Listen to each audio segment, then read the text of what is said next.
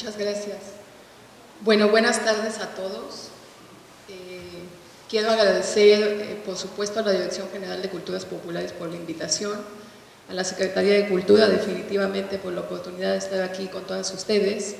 Y, y bueno, yo la verdad es que me siento afortunada de estar compartiendo este, este día, esta mañana aquí con ustedes, aunque también me siento en desventaja porque ya, ya todas han dado su punto de vista, ya todas hemos compartido y, bueno, seguramente que lo que pronto puedan leer, lo que vamos a presentar, quizá ya está mencionado, pero eso me da la, la oportunidad de, de ver, de corroborar que todo es transversalidad, que todo está conectado, que todo eh, es parte, valga la redundancia, de un todo y que eh, pues no solamente es el punto de vista de cada una de nosotras, que seguramente los caballeros también coinciden y que eh, es parte de lo que estamos viviendo en el día a día. ¿no? Entonces, pues muchas gracias por la atención que puedan prestar. También quiero decirles que me siento un poco nerviosa, tiene rato que no estoy en un micrófono, y un poco en examen, el, el antropólogo y yo nos conocemos desde hace un rato, y todo lo que yo diga que no sea tan cierto, seguramente me lo va a decir. Eh, antes de que podamos tener la presentación, eh, déjenme platicarles un poco que mi tema es sobre las mujeres artesanas. Yo he tenido alguna oportunidad de trabajar en este sector desde hace algunos años y, es lo más grato que he podido conocer en la vida. Eh, artesanas, bueno, el sector artesanal sobre todo eh, es, es como ya lo dijeron en muchos otros ámbitos, pero al final es lo mismo, este, es noble, es compartido, es identidad, es cultura, es tradición, es origen, es lo que nos representa a todos y cada uno de nosotros, ¿no? que yo creo que eso es, eso es lo más importante. Eh, en lo que eh, podemos lograr esta presentación, eh, solamente a modo de, de, reflexión, y entonces entran muchos temas, de pronto lo que ya se platicó del contexto patriarcal, de pronto lo que ya se platicó de, de, del tema de empleo, ahí está una una lámina donde podemos apreciar algunas artesanas de aquí de Tabasco. Y, bueno, por el contexto de Tabasco, lo que mayormente tenemos es fibra vegetal, es, es este, el ecosistema que tenemos aquí, ¿no? Sin embargo, eh, bueno, también está el, el, bordado tradicional, que ustedes estoy segura que también lo conocen. Y, volviendo un poco a la reflexión que hacía, este, hace muchos años me tocó colaborar en una comunidad de Chalma, del municipio de Chalma en el estado de Veracruz, se, se llama San Pedro Coyutla. Y entonces, en ese entonces, valga la redundancia, trabajábamos con un grupo de tejedoras en tela de cintura. Y en esa comunidad había un grupo de artesanas. En esos años seguramente que Dominga, que es una una artesana, tejedora buenaza, eh, tenía, no sé, quizá como unos 25 años, 22 años, y ya tenía tres hijos varones. Estaba embarazada, su esposo era el agente municipal, y entonces lo que sucedía es que como ella era buena, pues era de las que más se les compraba su producto. Sin embargo, al llegar la paga, pues no era un dinero que se quedara ella, ¿no? Se lo quedaba su esposo.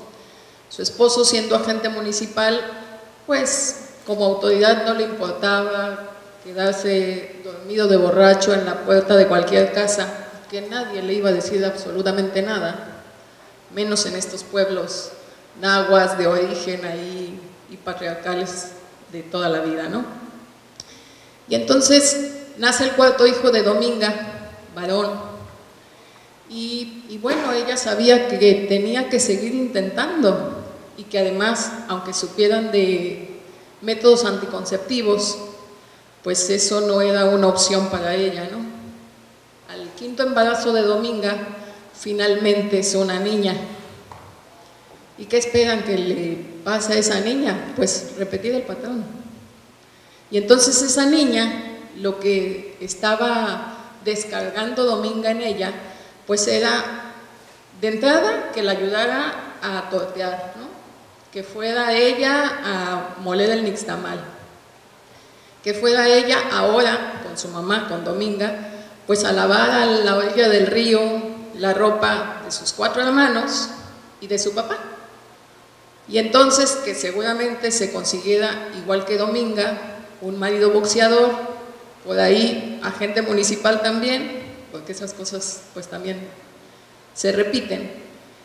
Y entonces, otra vez, cinco hijos, el último seguramente niña, y cíclico, ¿no? Entonces, eh, bueno, eh, era solo algo que les quería compartir, algo que se vive en todos los, ámbitos que ustedes han comentado y que no es ajeno al sector artesanal.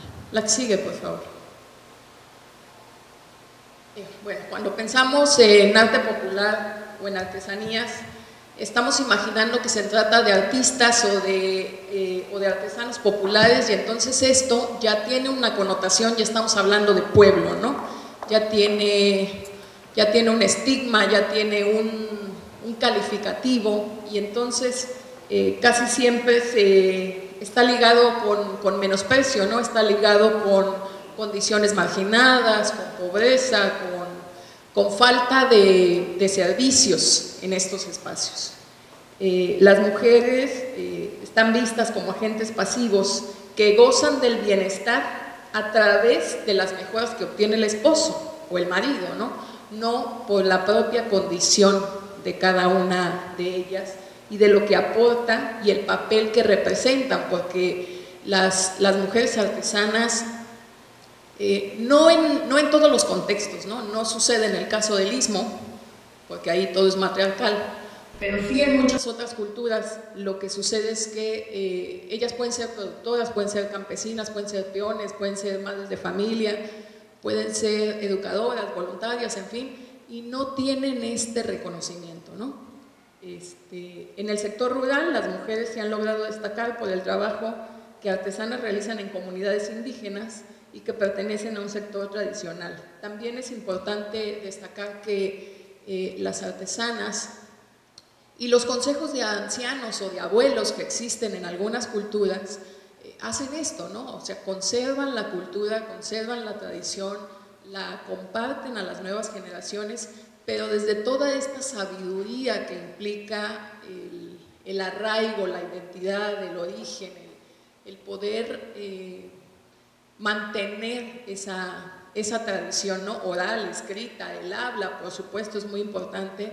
Y bueno, esa es otra de las condiciones que ha tenido las mujeres, los hombres también, eh, en temas de, marginación y rezago, ¿no? Cuando son hablantes de una lengua indígena, pues a veces lo que sucede, si vamos a la escuela y lo sabemos, pues no lo decimos, ¿no? Porque creemos que nos van a, a marginar o a discriminar por el hecho de, de, hablar una lengua indígena cuando desafortunados somos todos los demás que no sabemos poder, no sabemos y no tenemos esa habilidad para aprender y hablarlo, ¿no? La que sigue, por favor. Eh, la identidad cultural eh, tiene que ver con elementos identificativos en cada grupo social, lo cual genera un sentimiento de identificación con cierta cultura o grupo social. En tal identidad se encuentran los elementos colectivos y los elementos individuales, destacando las semejanzas que como sociedad se construyen y enfatizando las diferencias que cada uno tiene en, respectivos casos. ¿no? Ambos se conjuntan en un mismo punto para construir esto que hemos mencionado, que es la identidad. La identidad colectiva, que es el conjunto de factores sociales que conforman e involucran a cierto número de individuos, los cuales comparten características en tiempo y espacio. La que sigue, por favor. Y entonces, bueno, ahí volvemos al tema de las creencias, de la identidad, del origen, ¿no? Y, bueno, en todas las láminas van a poder apreciar a una artesana que eh, nos, nos comparte en esa pieza que nosotros portemos, usemos, decoremos un espacio en nuestras casas, que lo hacen gustosas, o sea, tú puedes ver la cara de las artesanas y están felices, nos están compartiendo un poquito de ellas. Por supuesto que también implica eh, de pronto el día que tienen dolor, de pronto el día que la pasaron muy mal, un poquito de eso que hacen, de eso que sienten cada día, lo, lo transmiten y nos lo comparten en cada una de estas piezas que nosotros podemos portar o podemos usar en el día a día que ellos elaboran. Las políticas nacionales, la anterior por favor, gracias.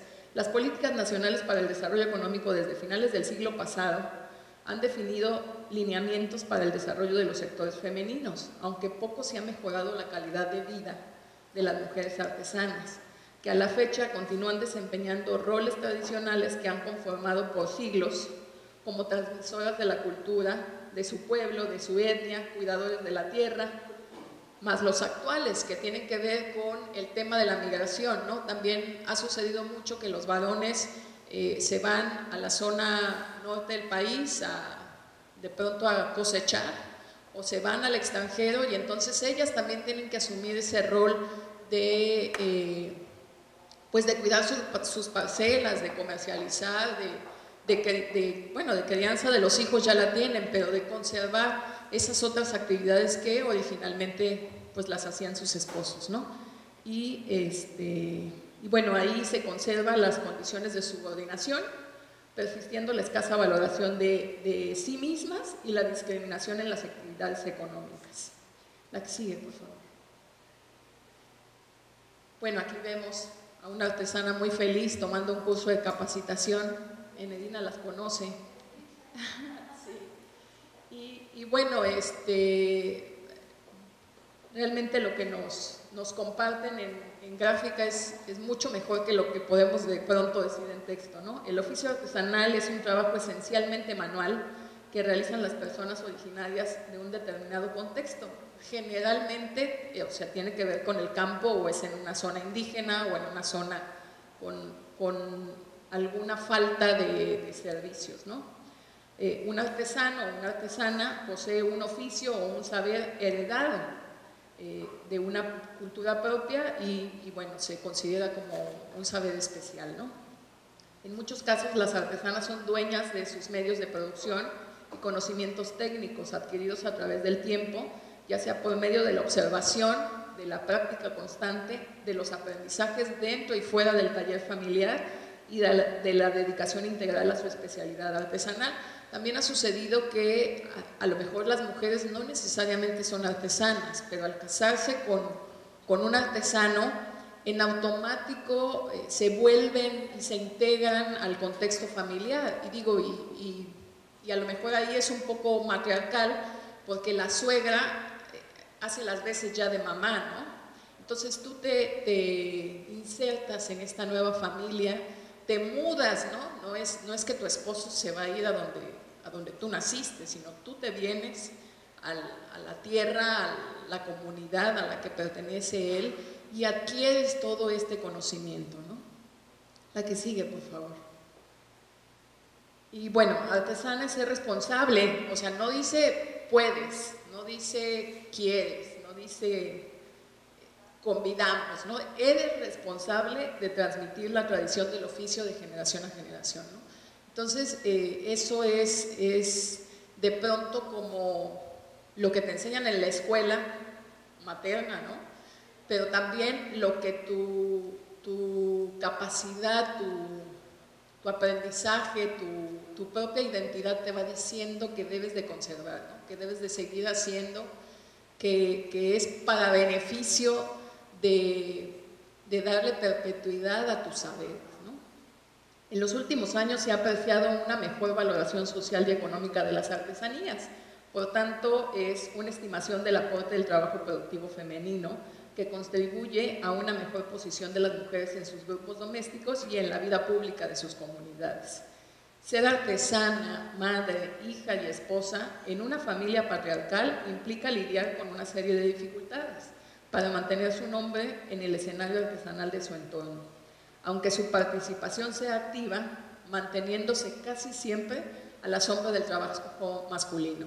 Eh, ha sucedido también, bueno, en el caso de Tabasco, en, talabartería es poco el trabajo de las mujeres, es más de hombres porque pues es pesado, porque trabajan con, con químicos, porque curten, porque este, de pronto le quitan el, pelo a las pieles para hacerlos, en las fibras vegetales también utilizan químicos, también utilizan este, algunos insumos que son industriales y los hacen mayormente mujeres.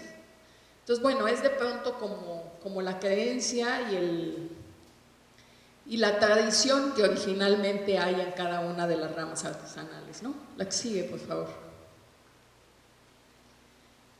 Aún existe una gran inequidad entre las oportunidades que mujeres y hombres presentan para desarrollarse tanto a nivel local, nacional y regional, evidenciándose sobre todo en el ámbito rural. Aquí podemos apreciar a una artesana, ella es de Emiliano Zapata, también está trabajando con fibra vegetal, y entonces cómo, con, con, sumo cuidado, con, con, mucha maestría, logran estos objetos maravillosos que, que nosotros admiramos. ¿no? Eh, se, han elaborado estudios del trabajo artesanal y de las limitaciones por los estereotipos de género establecidos en las comunidades, destacando las ventajas y desventajas para el desarrollo de la actividad artesanal y las posibilidades que presenta para el desarrollo socioeconómico de las artesanas, así como la importancia de la actividad como parte del rol de cuidadoras de las tradiciones y la cultura. En el caso de Tabasco, eh, a mí me tocó colaborar en la administración pública este Estado en el periodo 2013-2018. Y entonces, eh, cuando iniciamos en, el, en, ese, en esa administración, encontramos que en el padrón estatal de artesanos había alrededor de 800 registros, o sea, 800 personas en Tabasco que hacen artesanía. Y cuando entregamos la administración en el 2018, 2019, ya estábamos hablando de alrededor de 2.000 personas, que aún es nada. Aunque se haya duplicado, sigue siendo nada, porque hay muchas comunidades en las que se elabora un trabajo artesanal y aquí el antropólogo no me dejará mentir. Él también ha tenido oportunidad de estar en Tabasco más de una vez. Y, hay muchos trabajos que están de pronto sesgados como solamente a los varones, por ejemplo, el de las jícaras ceñidas, que yo no sé si todos lo conocemos, que el artesano que está en el libro de grandes maestros de arte popular de Banamex, que conoce perfectamente el antropólogo, es de Jalpa de Méndez y que desafortunadamente ya no lo tenemos. Pero cuando fuimos a Centla, a Quintina Arauz, que también conoce, ahí encontramos a una viejecita, allá del 2017, una viejecita que también ceñía las jícaras. Sin embargo, por supuesto, no negamos la maestría del artesano de Jalpa, pero no era el único.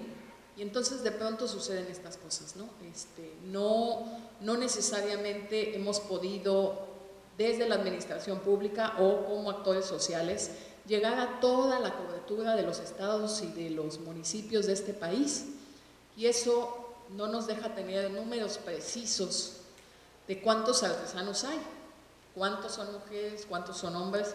En el caso de Tabasco estábamos hablando de un 60-40, 60 mujeres, 40 hombres. Sin embargo, eh, también tiene que ver con cómo se identifican ellos, porque cuando nos censan, eh, a lo mejor yo, Karen Pineda, soy maestra y soy administradora y soy ama de casa y me vienen a censar y me preguntan a qué me dedico y yo digo, soy ama de casa. Nunca dije que también era administradora y también era maestra. Entonces con ellos pasa lo mismo. Cuando los van a censar, pues ellos dicen, ellas dicen que son o amas de casa, ellos a veces dicen que son jornaleros, no dicen que son artesanos, o dicen que son campesinos, o que son no sé, caballerangos, en fin, pero no se cuentan como artesanos. Entonces, mientras eso siga ocurriendo, pues seguiremos en las mismas de andar adivinando cuántos, cuántos son, ¿no? La que sigue, por favor. Vean esta foto maravillosa que también es de Tapochingo, donde la señora está ahí sentada tejiendo su, su petate. El papel de las artesanas debe recalcarse por la importancia que representa para la transmisión de la cultura de los pueblos indígenas, como se han desarrollado cómo se han desarrollado las mujeres indígenas y mestizas de la mayoría de las etnias en México. Se encuentran restringidas en su desarrollo social y económico por los roles de género que la identidad colectiva les ha conferido y que han asumido como parte de los roles familiares que les resta la autoridad y empoderamiento para realizar su labor como productoras artesanales, reconociendo el derecho de autoría y negándoles la posibilidad de insertarse en los sectores laborales de una manera formal y valorada por la sociedad.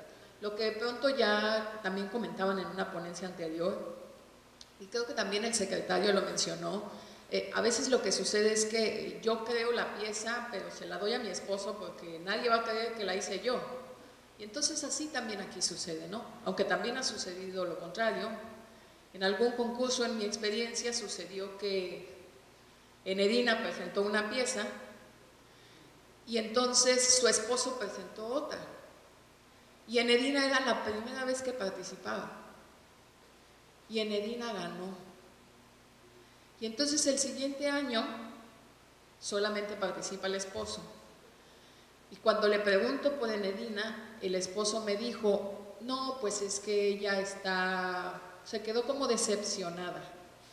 Y yo dije, decepcionada, ¿por qué si ganó? Pues sí, pero es que como era la primera vez que participaba y ganaba, pues que esto era muy fácil. Y yo dije, pues como que tiene otro fondo, pero bueno, hay cada quien lo interpreta. Y bueno, estas cosas también ocurren, ¿no? Que, que ¿por qué ella, aunque es mi esposa, aunque es mi pareja, aunque yo la elegí porque nadie los obligó a casarse, o al menos eso pienso yo, eh, ¿por, qué, ¿por, qué, negarle esa oportunidad de seguir fogueándose, de seguir participando, de seguir superándose a sí misma, ¿no? Aunque esté implícito, pues, pues visualizar que en esa actividad puede ser mejor que él, ¿no? La que sigue, por favor. Y bueno, aquí podemos apreciar otras mujeres artesanas que, que igual nos comparten su arte, nos comparten su colorido, su tradición, su origen. Y yo no tengo más que agregar que eh, pues es un sector más que también hay que seguir visualizando, tiene sus pros y sus contras, tiene sus ventajas, sus desventajas como todos los demás. Y, y es de analizarse todo, ¿no? Es, es este, un contexto que cotidianamente ha sido subvalorado, ¿no? no solamente como mujeres, también como hombres. Es un, es un sector que, que, nosotros alguna vez, o algunos alguna vez, han regateado, es un sector que no hemos ponderado, ¿no? y ahí es donde está todo lo que somos, todo lo que somos como mexicanos, todo lo que representamos, todo lo que nos da identidad también como tabasqueños, de lo que deberíamos estar muy orgullosos porque es, es lo que nos da arraigo, es lo que nos, nos hace sentir lo que somos. ¿no? Muchas gracias por su tiempo.